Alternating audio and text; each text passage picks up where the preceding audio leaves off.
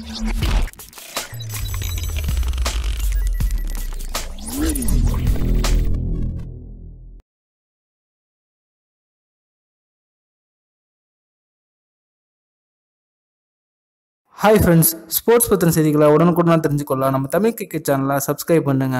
இந்திய கிரிக்கெட் அணியின் வீரரான தினேஷ் கார்த்திக் தமிழகத்தை சேர்ந்தவர். இவர் ரெண்டாயிரத்தி பத்தொன்பதாம் ஆண்டிற்கான உலகக்கோப்பையில் இந்திய அணியில் இடம் பிடிக்க மாட்டார் அப்படிங்கிறது தெரிய வந்திருக்கு. அதை பற்றி நாம் எப்போ பார்ப்போம்? கடந்த இரண்டாயிரத்தி நாலாம் ஆண்டு முதல்ல இந்திய அணியில் விளையாடிட்டு வர தினேஷ் கார்த்திக் தனக்கான ஒரு நிரந்தரமான இடத்த இந்திய அணியில் இன்ன வரைக்கும் பிடிக்க போராடிட்டு தான் இருக்காரு அப்படின்னு சொல்லலாம். மகேந்திர சிங் தோனியோட வருகைக்கு பிறகு எந்த ஒரு இந்திய விக்கெட் கீப்பரும் இந்திய அணிக்காக ஒரு ஆதிக்கம் செலுத்த முடியல. ஏன் அப்படின்னா அவர் இருந்து இந்திய அணியை சிறப்பாக வழிநடத்திக்கிட்டு வந்துகிட்டு இருக்காரு. கிட்டத்தட்ட பதினைந்து ஆண்டுகளாக கிரிக்கெட் விளையாடி வந்துட்டு இருக்க தினேஷ் கார்த்திக் இதுவரைக்கும் இந்திய அணிக்காக வெறும் தொண்ணூத்தி ஒரு ஒருநாள் போட்டிகளை மட்டும் தான் விளையாடி இருக்காரு. அதே போல வெறும் இருபத்தி ஆறு டெஸ்ட் போட்டிகளில் மட்டும் தான் இந்திய அணிக்காக விளையாடி இருக்காரு. நீண்ட கால போராட்டத்துக்கு பிறகு பாத்தீங்க அப்படின்னா இந்திய வீரரான தினேஷ் கார்த்திக் நிதாஸ் டிராபி ஃபைனல்ல இந்திய அணிக்காக விளையாடினாரு. அந்த தொடர்ல ஃபைனல்ல பங்களாதேஷ் கூட கடைசி பந்தில் சிக்ஸர் அடிச்சு இந்திய அணிக்காக வெற்றியையும் பெற்றுக் கொடுத்தாரு. அதனைத் தொடர்ந்து அனைத்து டி டுவெண்டி போட்டிகளிலும் இந்திய அணிக்காக அவர் இடம் பிடிச்சி விளையாடி வந்துகிட்டு இருந்தாரு. டி டுவெண்டி போட்டிகளில் சிறப்பாக விளையாடினாலும் ஒரு நாள் போட்டிகளில் அவருக்கு வழங்கப்பட்ட வாய்ப்பானது சரியா அவர் பயன்படுத்திக்கல அப்படின்னே சொல்லலாம். இதன் மூலமாக இந்திய அணியானது அவரோ ஒரு சிறந்த டி டுவெண்டி வீரராக பார்க்குறாங்க அப்படிங்கிறது தெரிய வந்திருக்கு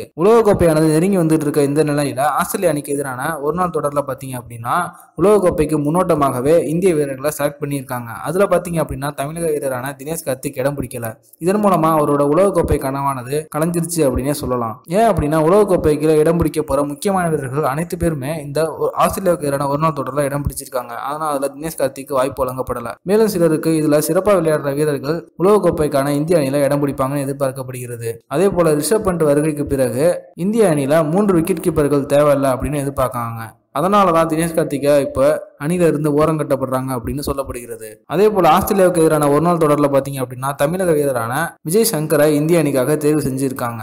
இந்திய அணிக்கு ஒரு கூடுதல் வீரரா இருந்தாலும் பெஞ்சில் உட்கார்ற வீரரா இருந்தாலும் கூட அவர் ஆல்ரவுண்டர் விஜய் சங்கரா இருந்தா சரியா இருக்கும் அப்படின்னு நினைக்கிறாங்க. இது குறித்து பேசி இருக்கிற இந்திய கிரிக்கெட் அணியின் முன்னாள் வீரரான சஞ்சய் மஞ்சரேக்கர் என்ன சொல்லியிருக்காரு அப்படின்னா தினேஷ் கார்த்திகோட உலகக்கோப்பை கனவானது முடிஞ்சிருச்சு அப்படின்னு நான் நினைக்கிறேன். அது மட்டும் இல்லாம இந்திய தேர்வுக்குழு என்ன நினைக்கிறாங்க அப்படின்னா தினேஷ் கார்த்திக் ஒரு சிறந்த டி டுவெண்டி வீரராகவே பார்க்கிறாங்க அப்படின்னு நான் நினைக்கிறேன் அப்படின்னு சொல்லியிருக்காரு. உலகக்கோப்பையானது இன்னும் கொஞ்ச நாள்ல தொடங்க இருக்கிற இந்த நிலைமையில தமிழக வீரர் தினேஷ் கார்த்திக் இந்திய அணியிலிருந்து ஓரம் கட்டப்பட்டிருக்கிறது. தமிழக கிரிக்கெட் ரசிகர்களுக்கு ஒரு பெரிய ஏமாற்றமா இருக்கு அப்படின்னே சொல்லலாம். இந்த வீடியோ உங்களுக்கு பிடிச்சிருந்துச்சுன்னா லைக் பண்ணுங்க ஷேர் பண்ணுங்க. நன்றி.